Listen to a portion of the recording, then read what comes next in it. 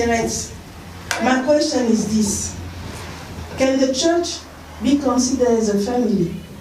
If yes or no, can you explain it? The Church, yes. The church is a family. Can you explain it?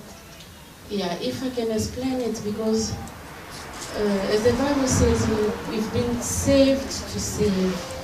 What a church must be a family to me, because in the church, God brings souls to us, for us to teach them the word of God, to show them the good way, to be, behave to the word of God, and for them to be saved one day to enter in the heaven. So for me to walk very well, I need to take the church as a daughter in the ministry because they are the souls or the sons and daughters that the Lord give to me. So I need to take them as a family. If I put them in the place of a family, I will treat them very well than to consider them like just people. So for me, the church is a family because in the church we get salvation. If there's a son who missed even education from the parents, in the church we can restart a new life in the son that who is already lost from the parents. He can get a new education even in the church because the word of God is there to strengthen, to give us strength, to strengthen and to, to build the life. So for me, the church is really a family. Traditional woman, what you will say about the core in the, in the house, cleaning, cooking, since that you are professional? Is it something that you need to have a help on, or what can you say about it? Yes. Uh, dealing with the ministry and the profession, you need to organize your house.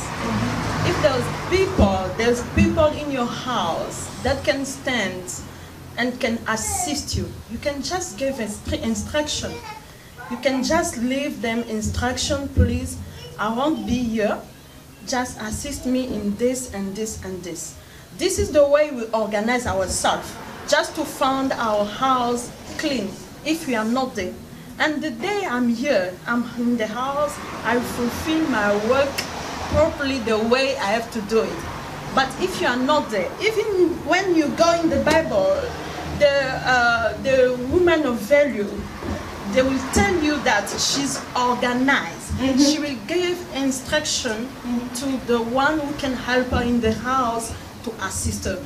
That the way the woman who is working or the businesswoman should work, should organize themselves for the house.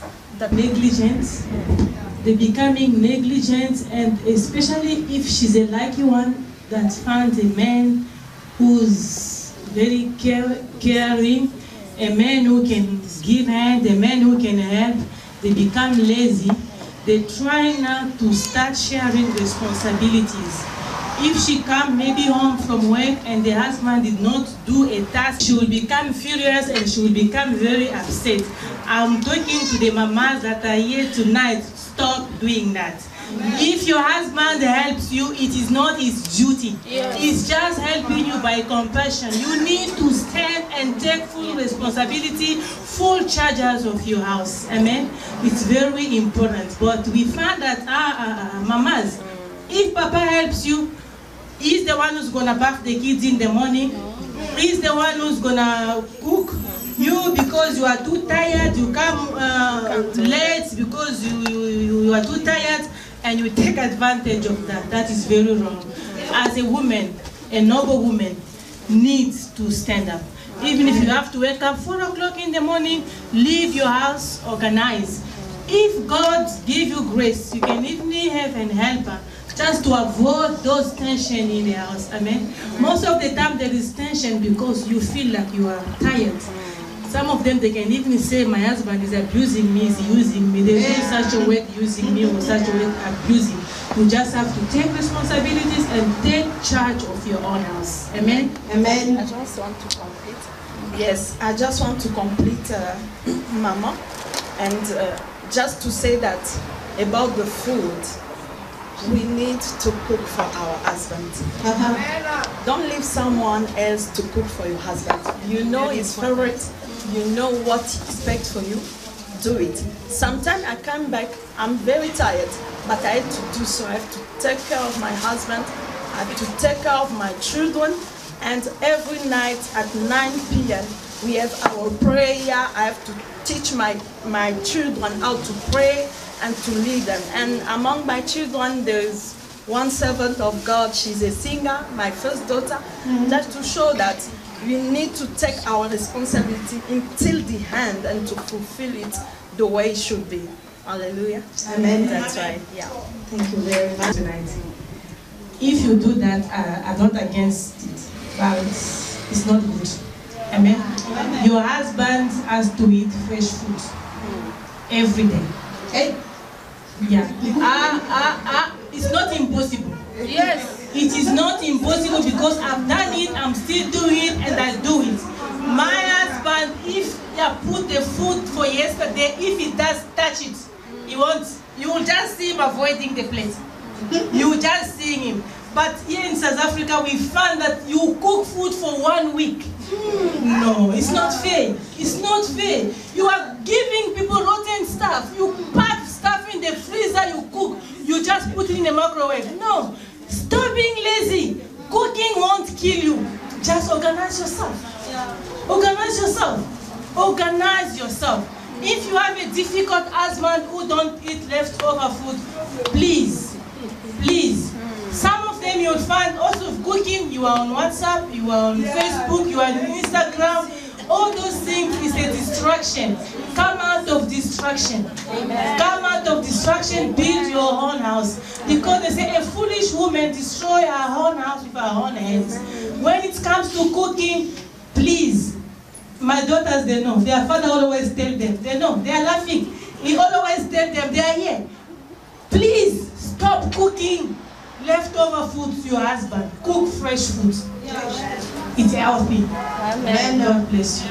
Amen. Yeah, I I to add something. Even me, I was working, it was happened, I did work here in South Africa for eight years until the time arrived that I need to stop working. It's the level that the Lord brought us.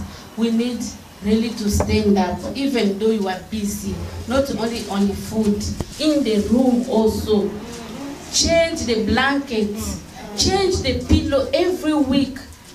You cannot sleep on the same pillow for a week, woman. Please, even for yourself. Last time I did take a good, complaining a couple that they are fighting because the woman cannot change even the blanket smell bad. Even for your whole health, it's not. You need to sleep in a good place and do the. Mama, decorate your room. Yes, men can. My husband sometimes I lie in the bed, take off the the the, the, the panty and the. the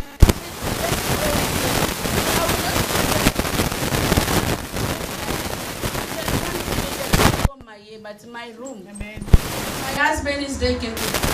I like when I enter in my room, I see a smart room. I put first my big pillows and I lay the small one and I put a small nunush there. So yes, so the bed must be tasty already before the so the men cannot just just enter in the room. Even you want to go outside, ah, let me lay. So there's many ways we can keep our husbands, please mothers. Three days, remove. Have them even seven. So Plait them nicely so well, your husband may feel that really I'm a king in this house. God. Combine it also. Uh, the first one is say, what is God's order regarding family and ministry? And the next one is, if in the marriage the husband cheat, if it's, is it the woman's fault? No, it depends. The husband can teach also because of the negligence of the woman. Or the woman herself open the doors for the husband to teach.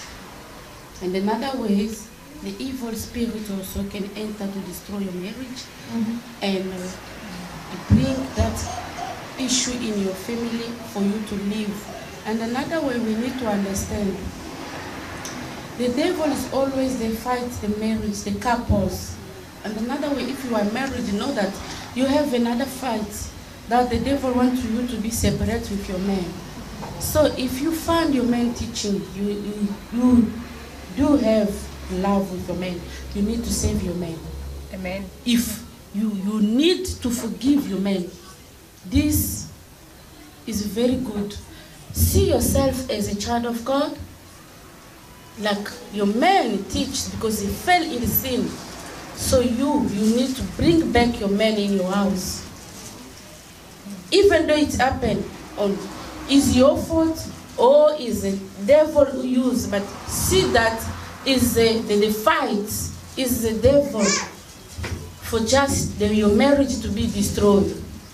So it can be your fault. Some negligence, like I told last time, I, uh, I, I was preaching before, I said that, look, the man is sick on his private party because of underwear. The underwear is very small, but you lady, you don't even know my husband is get wet, is head wet, I must change the size of underwear. You see, those some negligence. You are in the house, you look ugly, you don't even smart. I didn't say that you can walk, no, no, but look properly. Give your husband the appetite to kiss you. Hallelujah. So perform. Yes, you need to perform on that side. So in another way, you can also open the gate your husband to go out and fall in the sin in the family and the ministry. I don't know, it's a lot to say. But the order of God, the first things I say in the beginning, as a woman, as we gather in the women's gathering, the first things, if you understand what God created me as a woman, what is my duty, what is my role, is to build an inequality and in good hearts and as a Christian. If I can answer that question, that is all I can say. I don't Coming to, to an order, Mm. God comes first. Mm. God comes first, then family, then Mm. church. Oh, on the last way. Most of the time, especially ministers, especially pastors, they are keeping to forget about their families and taking too much care of the church. That's where you find that a lot of ministers, their family are tearing apart because they are trying to replace the order. God's family and church. Mm. Amen.